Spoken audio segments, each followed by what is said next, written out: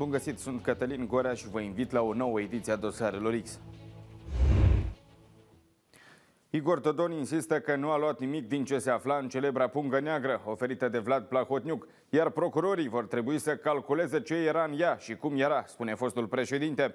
Astăzi acesta s-a prezentat la prima ședință de judecată în renumitul dosar Culioc, care a avut loc la Curtea Supremă de Justiție. Cazul a fost expediat în instanță la începutul lunii octombrie pentru o examinare în fond. Dodon este învinuit de corupere pasivă, organizarea și acceptarea finanțării partidului politic din partea unei organizații criminale, atunci când era șef de stat. El se declară în continuare nevinovat și, ca de fiecare dată, a evitat să spună clar ce se afla totuși în punga cu calendar. Mai sunt întrebări? Ce era în culioc? Alte întrebări? La este așa, trece. De, de, de, 100 de, de 100 de ori ați întrebat, de 100 de ori v-am spus, eu nu am luat absolut nimic. Și trebuie să întrebați procurori cum voi calcula ce este acolo și cum este acolo.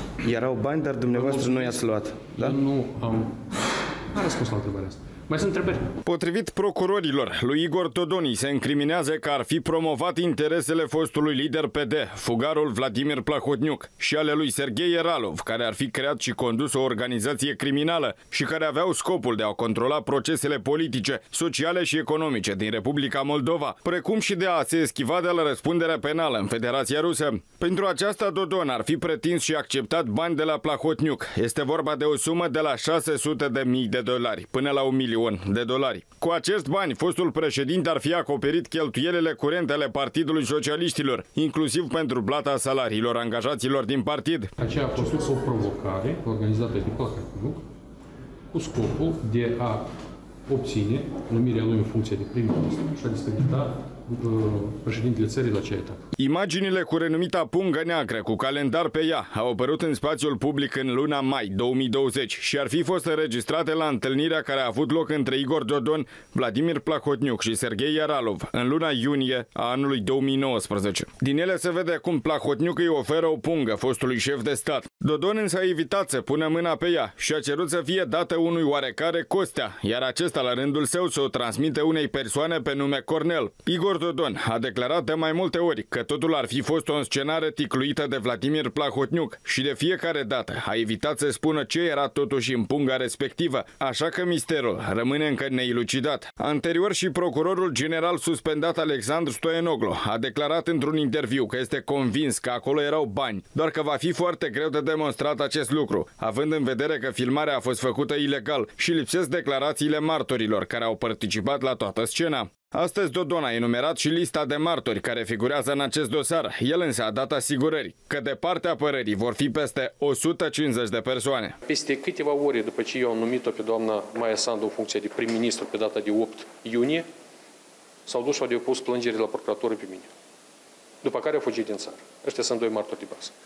Mai departe, în calitate de pseudo-martori, sunt doi deputați a pasului actual, Oazun Antoi și domnul Carp, sunt trei foști deputați de la platforma DA, Năstase, Slusari și Reniță, și sunt patru ex-deputați de la PD, Diacov, Filip, Candu și Cibotari. Anterior, într-un comunicat de presă, Procuratura Generală a precizat că Vladimir Plahotniuc, Sergei Aralov și alte persoane sunt implicate în acest caz, însă deocamdată nu a fost stabilit locul aflărilor. Totuși, urmărirea penală va putea fi finalizată în lipsa persoanelor respective, iar dosarul a fost trimis în judecată, în absența acestora. În gestiunea Procuraturii Anticorupție rămân la etapa de urmărire penală alte trei dosare privind învinuirea ex-președintelui Republicii Moldova Igor Dodon, săvârșirea infracțiunilor de îmbogățire ilicită, încă încălcarea modului de gestionare a mijloacelor financiare ale partidelor politice sau ale fondurilor electorale, dar și de trădare de patrie. Corturile din fața Parlamentului și a președinției au fost evacuate. Zeci de polițiști au intervenit în forța seară în centrul capitalei, după ce simpatizanții Partidului Șor au încercat din nou să instaleze corturi pe bulevardul Ștefan cel Mare, blocând circulația transportului. În timp ce corturile erau evacuate, s-au iscat altercații între protestatari și forțele de ordine, iar mai multe persoane au fost reținute. Oamenii lege au declarat că au depistat mai multe obiecte interzise.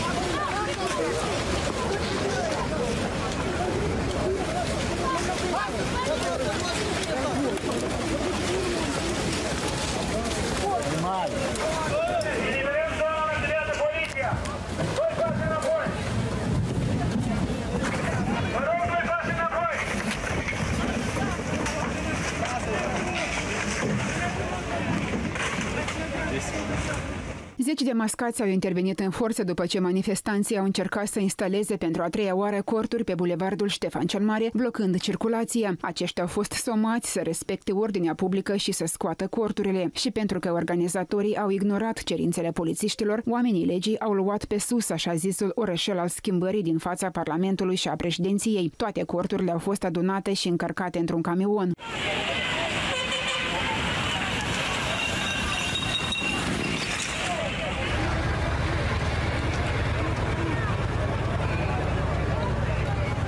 Nu s-a trecut fără altercații și îmbrânceli între protestatari și forțele de ordine și în timp ce mascații de la Fulger și carabinierii adunau corturile manifestanții scandau mesaje antiguvernare. Am întâlnit și unii oameni care au salutat intervenția poliției.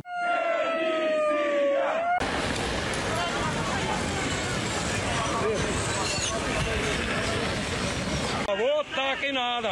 Вот так по-другому, по-другому нету никакой вариант. Или порядок, или бардак. Или война, или умри.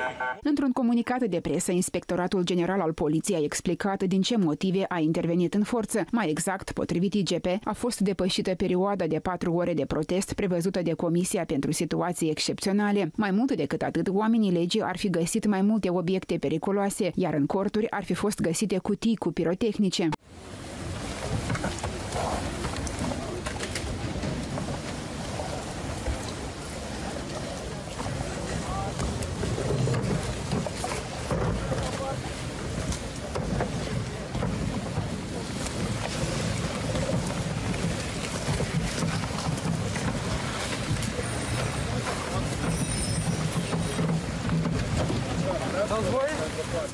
Poliția mai spune că acțiunile protestatarilor ar fi avut scopul de destabilizare, fiind evitat dialogul cu forțele de ordine, iar în mulțime erau persoane în stare de ebrietate și cu un comportament dubios. Timp de o săptămână au fost inițiate 168 de proceduri contravenționale pentru încălcările admise de protestatari. Cu o reacție a venit și Partidul Șor. Într-un comunicat de presă, formațiunea a menționat că va depune plângere la Procuratura Generală în privința abuzurilor fără precedent comise de polițiști. Mai mult, organizatorii protestelor din centrul capitalei au acuzat președinta că prin ordinele pe care le-a dat poliția a încălcat dreptul constituțional al oamenilor de a protesta. La rândul său, Maia Sandu le-a mulțumit oamenilor legii și a declarat că aceștia au intervenit după ce au înregistrat numeroase încălcări. Inclusiv au fost descoperite obiecte interzise desfășurării uh, unui protest uh, pașnic.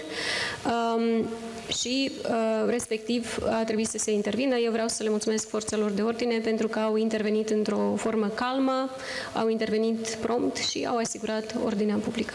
Evacuarea corturilor a fost posibilă după ce Comisia pentru Situații Excepționale a permis poliției să intervină fără acordul primăriei în astfel de cazuri. Decizia Comisiei vine după ce președinta Maia Sandu a cerut guvernului să modifice temporar legea pentru a dezlega mâinile poliției. A venit la furat cu un taxi. Un tânăr a intrat într-un depozit și a șterperit mai multe cutii cu produse chimice de uz casnic. Le-a pus în portbagajul mașinii de taxi cu care venise. A urcat și a plecat. În cadrul audierilor, individul și-a recunoscut vina. Cunoașteți pentru ce ați fost adus la inspectorat de poliție Ciocană? Da. Pentru mai multe furturi din sectorul Ciocană. De unde anume furturile? Vina o recunoașteți? Da. Potrivit poliției, suspectul în vârstă de 27 de ani a fost reținut de polițiști după ce ar fi pătruns într-o debarat dintr-un bloc de locuit de pe strada Ale Coruso prin forțarea ușei de la intrare, de unde a sustras mai multe cutii cu produse chimice de uz casnic. Prejudiciul cauzat victimei a fost estimat la suma de 9500 de lei.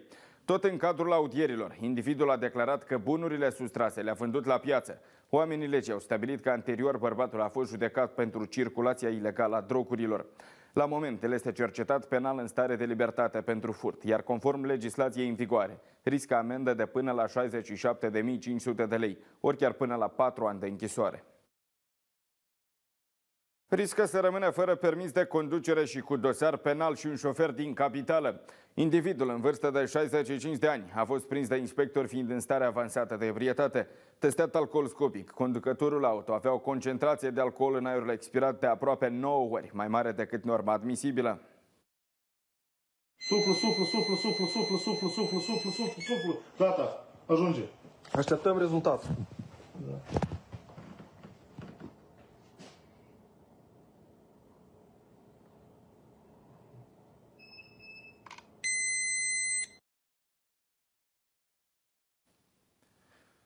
Potrivit poliției, bărbatul a fost tras pe dreapta după ce a fost observat de inspectorii de patrulare cum conducea haotic un Chevrolet pe o stradă din cartierul Poșta Veche. În timpul discuției, oamenii legii au simțit un miros puternic de alcool și au decis să-l testeze. Pentru că era beat, individul a rămas fără permisul de conducere, iar automobilul a fost dus la parcarea specială. Mai mult decât atât, pe numele lui a fost pornit un dosar penal. Atât pentru rubrica de astăzi. O seară fără incidente vă doresc.